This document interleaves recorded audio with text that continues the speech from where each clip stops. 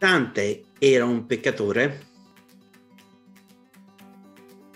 Da quello che ci dice lui stesso nella sua Divina Commedia che inizia con la terzina nel mezzo del cammin di nostra vita, mi ritrovai per una selva oscura che la diretta via era smarrita. All'età di 35 anni Dante si trova immerso dentro il peccato Vedremo nei prossimi video quali peccati hanno avvolto la vita di Dante all'età di 35 anni.